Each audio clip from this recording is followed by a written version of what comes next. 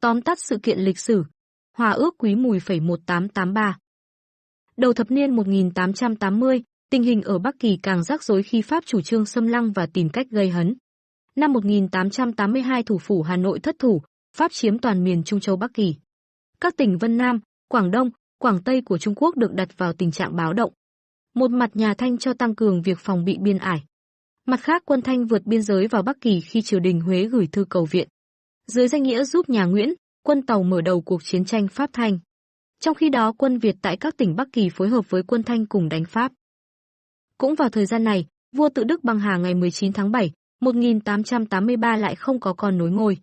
Việc triều đình rối ren, các quan phụ chính thì tranh nhau quyền lợi khiến vua Dục Đức ở ngôi chỉ 3 ngày 20, 23 tháng 7 rồi vua Hiệp Hòa ở ngôi 4 tháng 30 tháng 7 đến tháng 30 tháng 11 tiếp theo nhau bị phế. Lợi dụng tình thế, ngày 20 tháng 8 năm 1883, quân Pháp